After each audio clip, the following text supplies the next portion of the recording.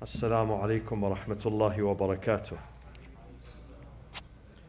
Tonight, inshallah, we're going to uh, discuss Surah An-Nahl, ayah 28 through 32, inshallah ta'ala. Bismillah ar-Rahman ar-Rahim, alhamdulillahi rabbil alameen. والصلاة والسلام على أنبياء الله جميعا وعلى سيدهم وخاتمهم حبيب إله العالمين أبي القاسم المصطفى محمد وعلى أهل بيته الطيبين الطاهرين المعصومين الذين أذهب الله عنهم الرجس وطهرهم تطهيرا.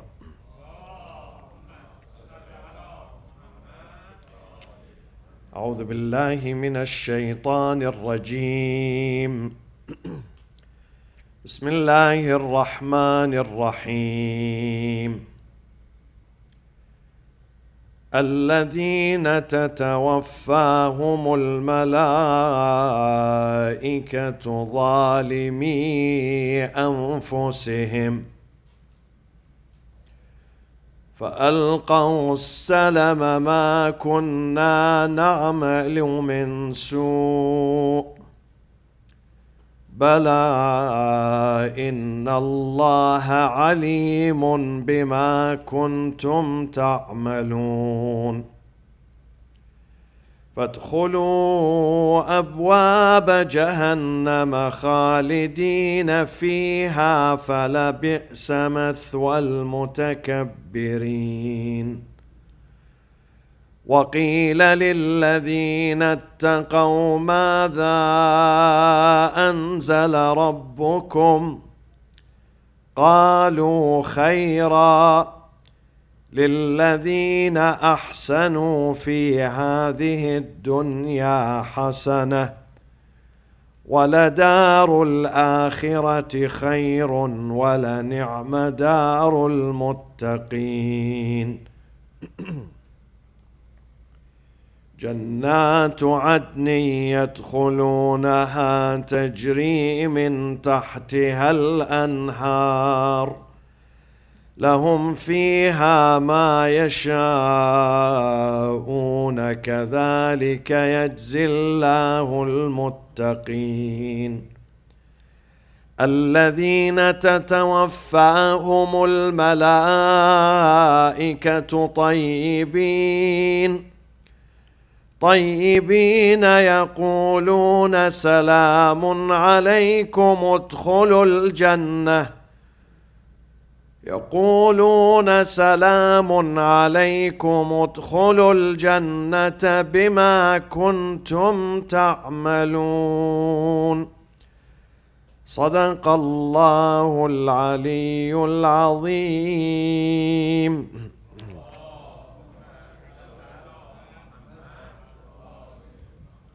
At the time of death, people are going to experience different feelings. They are not all the same. Moment of death is different depending on who you are. What is the level of your commitment? How much you prepared for this day? Were you aware of this day and what will happen after it or not? So the feeling is different. Maybe two brothers, two friends die, a husband and wife. They die, but each one is going to experience a different feeling at the moment of death. Imam Zainul Abidin alayhi says, أشد الساعات على ابن آدم ثلاث The most difficult and critical moments upon us are three moments in our entire life. Three moments. These are the most difficult. Number one, ساعة يرى فيها ملك الموت. The moment we see the angel of death, we see him. We know he is present. This is a very difficult moment. Angel of death does not visit people just to socialize with them. He didn't even visit prophets or messengers to socialize with them because he's very busy, super busy, this man, this angel is super busy. So when he visits someone, it means, I'm taking you with me. He visited King Solomon, Suleiman, alayhi salam. Sulaiman thought the angel is today is visiting him, just paying him a visit, you know, asking him, how, how are you doing today? So he said to him, Ji'tani za'iran am.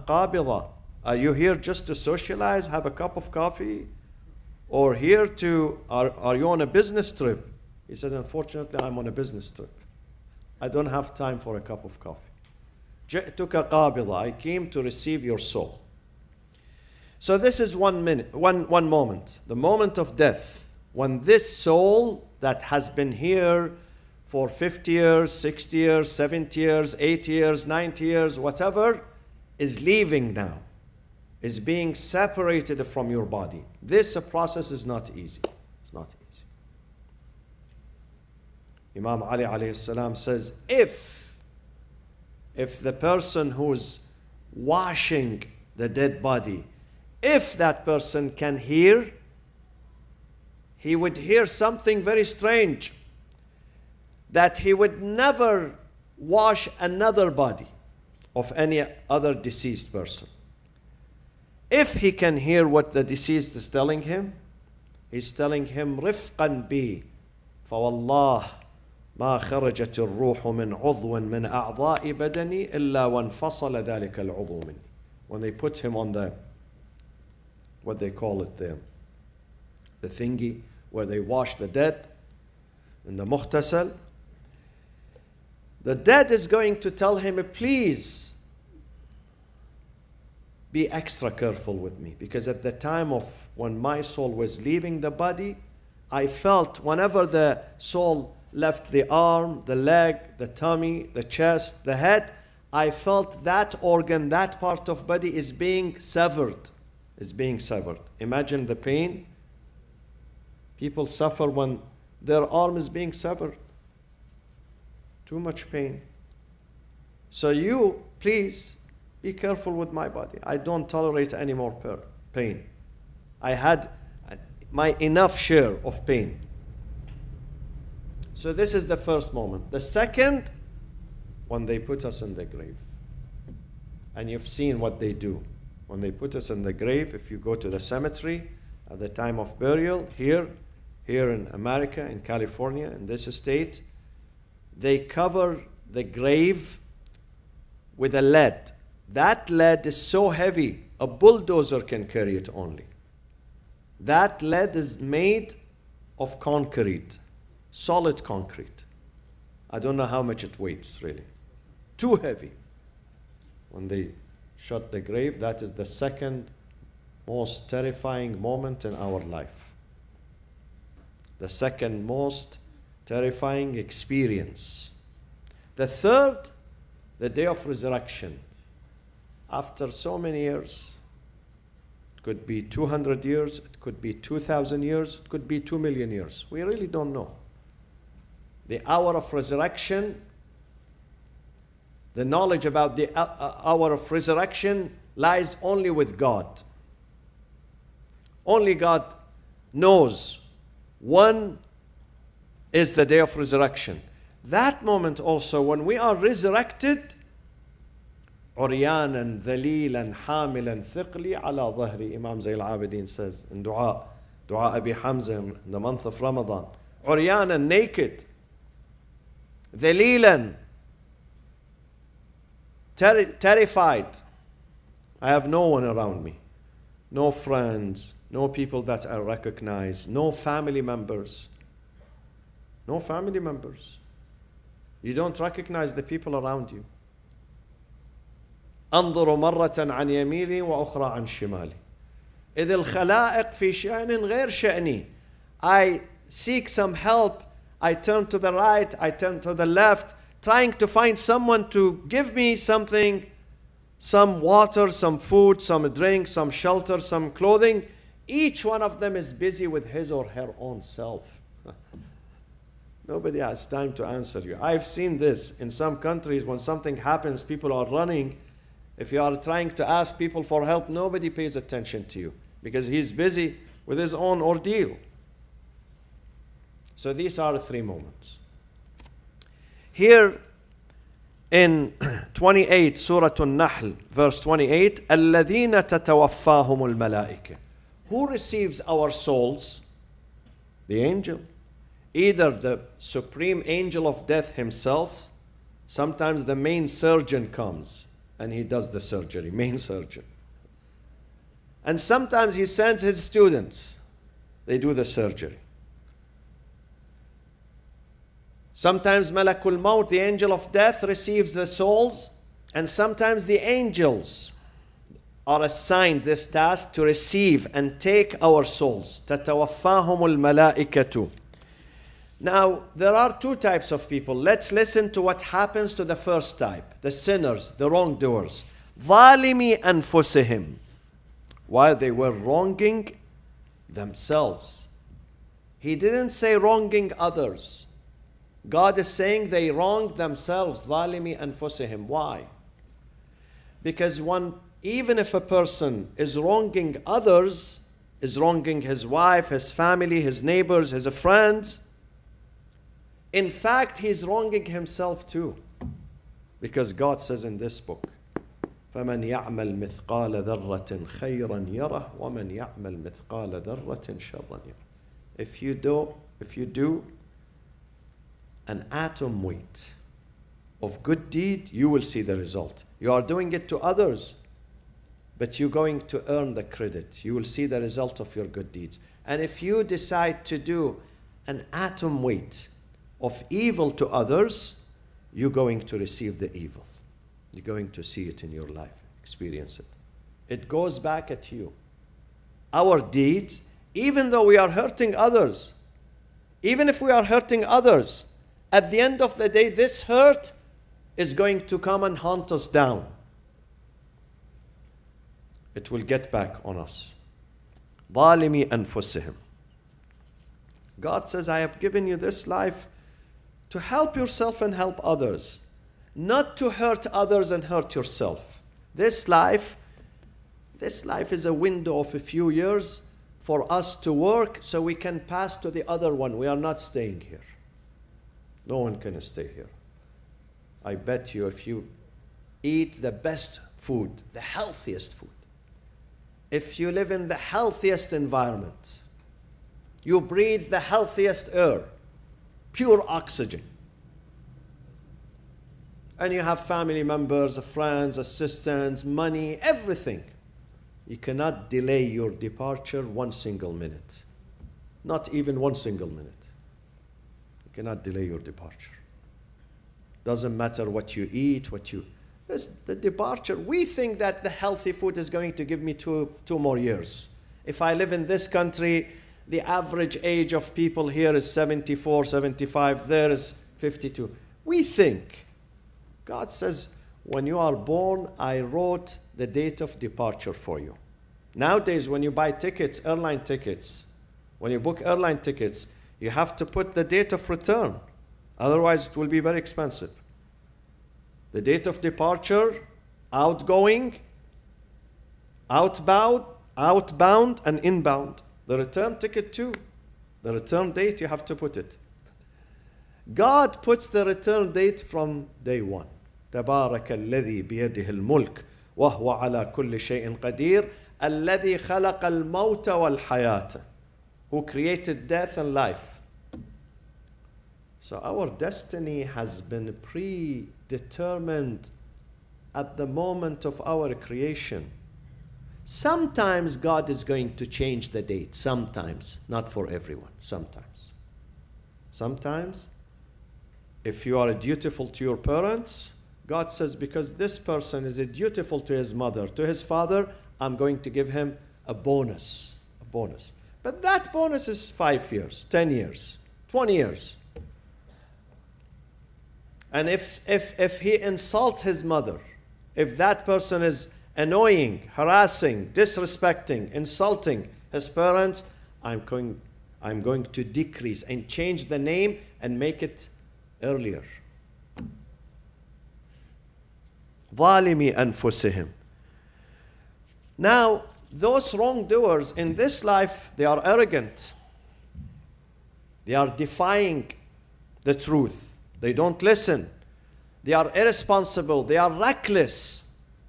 But at the moment of death, when they see the angel of death and they know that they are leaving, they change. They try to change. They try to fool the angels.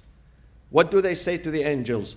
فألقوا السلم فألقوا السلم ما كنا نعمل من سوء They offer peace to the angels and they behave humbly before the angels. And then they lie.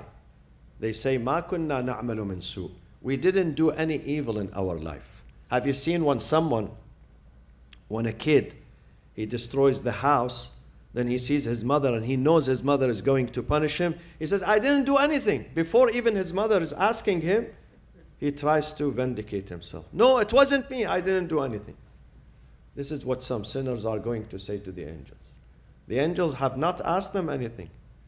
They saw the angel of death, so they offer them peace. فَأَلْقَوْا السَّلَامِ And then they tell them with humility and humbleness, and they are very kind and nice in sharp contrast to how they lived in this life. They lived with arrogance, with defiance. Nobody even could tell them that what you are doing is wrong. Listen, wake up, be careful, don't do this. Nobody dared to speak to them. Now they are humble. They say to the angels, Ma kunna min su. By the way, we didn't do anything bad. Ma kunna min su the angels are going to answer them, Bala, nay. Nay, you are liars. Inna Allah alimun bima kuntum ta'malun. Verily, God knows everything you did in this life. So you cannot deny. In this life, we may lie and deny. In the akhirah, there, God knows everything. Your record is there. Your record shows everything you did with pictures you know, sometimes there is these cameras, traffic cameras, installed in the, in the traffic lights. So when you run the red light, they take a picture. So the judge, and they send it to you, they send it to DMV to, you cannot deny. You cannot deny. They show you the picture. Same thing is going to happen there. Everything is recorded. There are snapshots huh, made by God. We cannot deny. فَادْخُلُوا أَبْوَابَ جَهَنَّمَ As a result, these are the gates of hellfire. Enter. خَالِدِينَ Wow, this is, this is very difficult. Eternalized. There is no parole. There is no pardoning.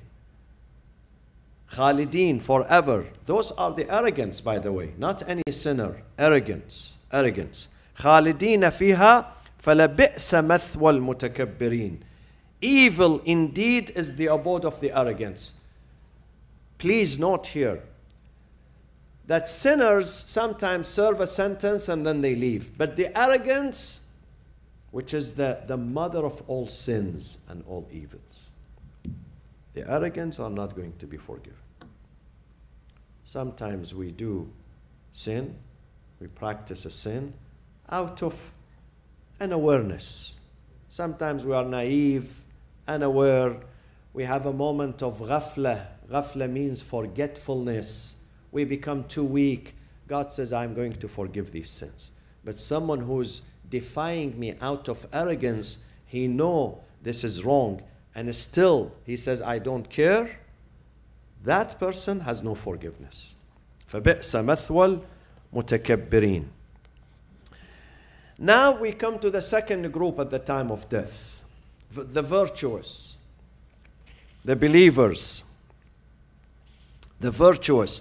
وَقِيلَ لِلَّذِينَ اتَّقَوْا The angels at the time of death are going to ask those virtuous, people who led a life of virtue, a life of content, a life of inner satisfaction, a life of service a life of dedication. They helped others, they were nice to others. Like Haj Samir Amiri, this man. Believe me, believe me, I'm not exaggerating. When I remember a person who dedicates his life at the expense of his health, I remember this man. He always gives. Anything you ask him, he never says no. Say it. I have no time. I'm tired. Even at the expense of his health, unfortunately. Those people of service and dedication, the angels are going to ask them, وَقِيلَ لِلَّذِينَ اتَّقَوْا مَاذَا أَنزَلَ رَبُّكُمْ What did you see your Lord sent down? قَالُوا خَيْرًا We saw goodness. Everything God sent down was goodness. Even the bad incidents, huh? even sickness, they say this is goodness. Even poverty, sometimes they experience poverty, calamities, loneliness, difficulties, hate sometimes, negligence, people neglect them. They say goodness. This is the inner satisfaction. When you look at the entire life as being goodness, because God is sitting there and He knows what's going on. You are under His protection, you are under His eyes. They don't complain, they say goodness. ماذا أنزل ربكم قالوا خيرا goodness للذين أحسنوا for those who did good أحسنوا they did إحسان wholesomeness في هذه الدنيا حسنة see my friends I think last week or the week before I said those arrogance and defiance and corrupt are going to pay two prices twice one in this life and one in the akhirah. This life is defeat. They're going to do. When they leave this life, they leave with a sense of defeat, with a sense of loss, even if they are multimillionaires. At the moment of death, they have hasra, pain in their heart that we are losers. I wish I could have done otherwise. I wish I could have done better. I wish I could have avoided this destiny, this fate. They keep saying, I wish, I wish, I wish. So here, sense of defeat, and there is the greatest loss, Nar Jahannam. Same thing, my friends, the pious. Here, when they leave, they leave with satisfaction and enjoyment. Though they are dying, though they are dying, but they are happy. Surah Al-Fajr. What does God say in Surah Al-Fajr? يا أيتها النفس المطمئنة ترجعي إلى ربك راضية مرضية. Oh, the soul that is tranquil and peaceful. Now go back to your Lord while you are satisfied and you are satisfying your Lord too. God does not allow us, if we are virtuous and pious, does not allow us to leave this life with pain, with remorse, with regret. He's going to switch your pain into happiness at the time of departure. راضية مرضية. So they say, للذين أحسنوا في هذه الدنيا حسنة. Those who do good are going to see good حسنة in this life. And ولدار الآخرة. For the hereafter, خير is much better than this life. The reward is much bigger. My friends, no matter how much God rewards you in this life, it's going to be taken away from you. If you have wealth, you die without your wealth. You are not going to take your wealth to the grave. If you have properties and lands and skyscrapers, you are not going to take them. These are limited. Believe me, these things that we have properties, cars, jewelry, money these are toys Sometimes those kids, you give them toys to keep them busy for two, three hours. God is giving us these toys and He's going to take them back. Believe me. These are not permanent. Don't think they are permanent. Don't get attached to them. Use them, but don't fall in love with them. Use your car, your house, your money, your jewelry, your traveling, your food, everything, everything, but don't get attached to it. Be ready to leave them, to abandon them. So وَلَدَارُ الْآخِرَةِ خَيْرٌ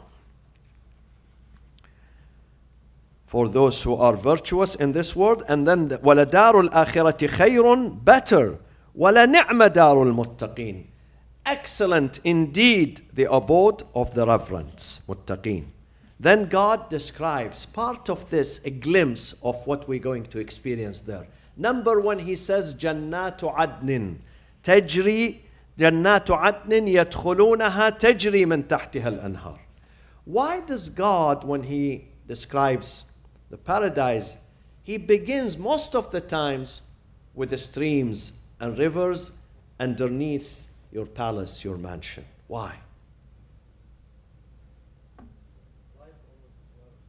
We, we, have, we can answer this question better than others because we have a drought. We have a drought, lack of water here.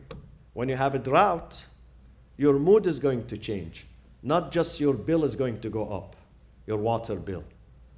Your mood is going to, to, to change. Everything is going to be expensive.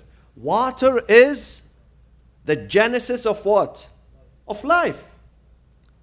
Same thing in paradise. God says water first. And then tajri, flowing, is a reference to what? An indication of what? Continuity. When the water runs, this is continuity rather than being stagnant. Stagnant, there is no continuity, no movement, no motion. But when the when, when, when the rivers are raging and moving, this is this is a gesture of what? Continuity. تجري من تحتها الأنهار. This is number one. لهم فيها ما يشاءون. You can get anything you want, no reservation and no exception. There is in paradise the word no is not used in paradise. You throw it outside and then you go to paradise. In the vocabulary in paradise, there is no word which is called no. You don't get this. We don't have this. Sometimes in the airplane, they have fish, they have vegetarian, and they have the, the food, what we call it akl al asafir, the bird's food, you know. They bring it to you. Bird's food, believe me. The bird's food that you buy them here in the market for those birdies, they give you this food. Sometimes when you ask for fish, the flight attendant is going to say, What? We run out, sorry. Sorry, if we cannot fulfill your dream. So either you go hungry or, I don't know, you have to fight for your rights. So in paradise, there is nothing called run out, no inventory, it's empty, the shelves is empty, there is no formula milks, there is no whatever, there is no, everything is available in abundance, anytime, 24 7. Of course, there is no day and night there. 24 7 is only here. لهم فيها ما يشاءون. If you want physical pleasure, it's available. Sensual pleasure, available. Intellectual pleasure, available spiritual, spiritual pleasure available, intellectual pleasure, av- social pleasure available. Whatever you need. No limitations. لهم فيها ما يشاء. اللهم ارزقنا الجنة. Pray always that we make it. We jump inside before they shut the door. That's it. You are good for the rest of your life. If you can make it there, inshallah, inshallah. إن شاء الله تعالى ولنعم دار لهم فيها ما يشاءون كذلك يجزي الله المتقين Thus does God recompense. This is recompensation for what you did here. You think when you stand for Fajr prayers at 4:30 a.m., 4:15 a.m., you deprive yourself of the sleep. There is no compensation for that. When you do the five daily prayers, there is no compensation. When you fast 30 days of Ramadan in the heat and the thirst and the hunger and the long days, there is no compensation. When you help someone, when you help the poor and the needy, when you give your zakat, your khums, your sadaqah, your charity, your smile, your help, there is no compensation. Impossible If you do any act of goodness to any good person, at least that person is going to say thank you to you And then he's going to look for an opportunity to give you back what you, what you have given him, to return the favor. And God does not? You think God does not return the favor? وَلَنِعْمَ أَجْرُ الْمُتَّقِينَ Does God recompense? كَذَلِكَ يَجْزِي اللَّهُ الْمُتَّقِينَ God recompense the reverent. Let me read the last one and we conclude. الَّذِينَ تَتَوَفَّاهُمُ الْمَلَائِكَةُ طَيِّبِينَ Those, the same second group, that are received by the malaika طيبين in a state of peace. They have no burden on their shoulders. They did not do any wrong to anyone. And if one day we do wrong to anyone, we have to go and apologize. We have to have the courage to say, I'm sorry, I insulted you, I hurt you, I annoyed you, I harassed you. I am here to apologize to you. Forgive me, please. We have to have the guts to do this. It's not aib. Don't think, no, this is belittling me. I am the great. I am Alexander the Great. How can I come to someone and say sorry to him? No. Teach your tongue to say sorry. I swear to God, my friends, one of the good things I learned here in the West when I came back from the East is to say sorry. In the East, nobody says sorry. Nobody, even if they shove you, you know, throw you into the bus, under the bus, they are not sorry. Here, sorry, sorry, sorry, pardon me, sorry, excuse me, sorry. This is good. Good. This teaches us humility. Humility. We have to be kind with people. So those الذين تتوفاهم الملائكة طيبين they are peaceful يقولون سلام عليكم the first thing they hear from the malaika if you hear malaika keep this in your mind at the time of death huh? and I have to remember it if angels coming to you smiling number one and say Salamun alaykum. It means you are done, you got the visa. Khalas, don't worry. This is a sign. Salamun alaykum. Because if that person is arrogant and hypocrite, they are not going to say to him Salamun alaykum. Once you hear this Salamun alaykum, you are done, you got the visa. Salamun alaykum, udkhulul jannata bima kuntum ta'malun. Listen to this. Enter paradise for that which you used to do. What does that mean? Paradise, is it a free? It's not a free because of what you used to do here in this life. So you have to cherish your deed. Be careful with your deed. Be careful with your behavior. Your deed is going to determine whether you go into this side or that side. Whether you're going to go to paradise or otherwise. Your deed. Bima kuntum ta'malun. You cannot say there, I am the son of this man, my father did this, my mother, my family, my tribe. No, no, no, no. It's, it's about your deeds. Only through your deeds you can make it now, there is some exception. Shafa'ah is for those who did good most of the time, but sometimes they failed in some areas. Here, the Imams, the Prophets, awliya are going to do shafa'ah for them, intercede on their behalf. But remember what Imam al-Sadiq says. At the time of his death, he opened his eyes, he turned to Bani Hashim, he said, يا بني هاشم لا تنال شفاعتنا يوم القيامة مستخفا بصلاته. Remember, my shafa'ah, the shafa'ah of Ahlul Bayt, is not going to reach someone who did not take care of his prayers, who did not pray, who didn't take prayers seriously, who took prayers lightly. He's not going to receive our shafa'ah. اللهم اغفر للمؤمنين والمؤمنات. والمسلمين والمسلمات الأحياء منهم والأموات تابع اللهم بيننا وبينهم بالخيرات إن شاء الله tomorrow we have صلاة الجمعة at 1 p.m. إن شاء الله تعالى وعجل اللهم في فرج سيدنا ومولانا صاحب الزمان والى ارواح المؤمنين والمؤمنات ثواب الفاتحه مع الصلاه على محمد وال محمد